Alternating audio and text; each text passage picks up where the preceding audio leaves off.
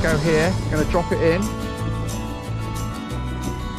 Wait a minute. Uh, we better get the paddles out first. Is that better, Caden? Do you feel good? Yeah. Now, Caitlin was a bit worried about the catfish yesterday. I said, don't worry. And then I noticed some teeth marks on the underneath. Oh, this is nice, isn't it?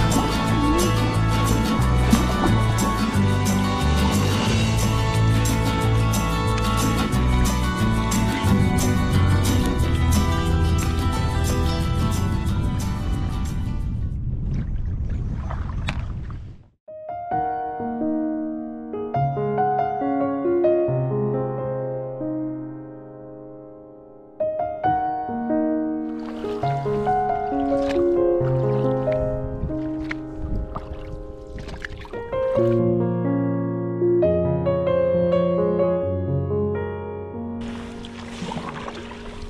you